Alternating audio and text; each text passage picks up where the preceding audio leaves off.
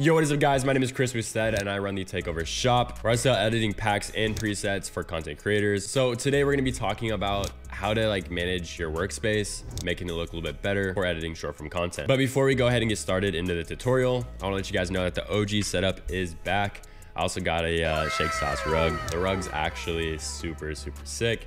Um, also got some LEDs in my kitchen, which I thought were pretty fire. Literally just did that for the videos um, because we're going to be going hard on YouTube this month. So anyways, let's go ahead and get started inside of Adobe Premiere Pro. So this is sort of the uh, workspace that you kind of get when you first load up. Uh, it might look a little bit different, but um, this is not what I like to edit in. I feel like it's just a little bit clunky.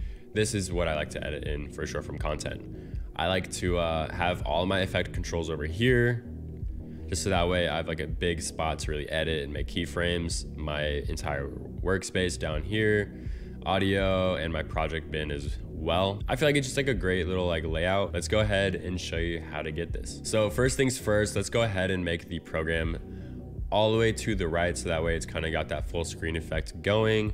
Um, and let's drag the source over here. All right, cool. So now that we have this over on this side, we want to go ahead and right click over here and then we want to go to panel group settings and we want it to be a stacked panel. Personal preference, I just like to see it stacked. And let's go ahead and drag and drop these onto the right. So just drag it over to the right.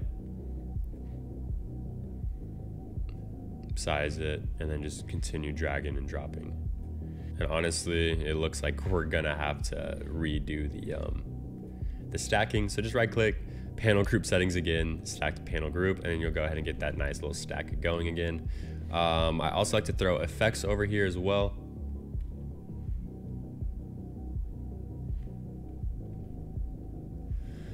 Okay, so we're actually getting somewhere.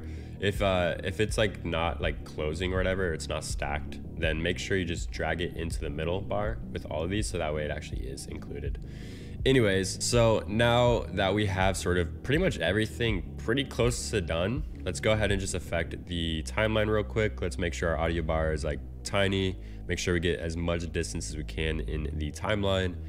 And now over here is like sort of where the files are. Now I personally don't like having my media bin so big. So we're gonna go ahead and just drag it over here to the right, make it smaller, just like so simply because I feel like I don't ever really need like a crazy big amount of space for a media bin.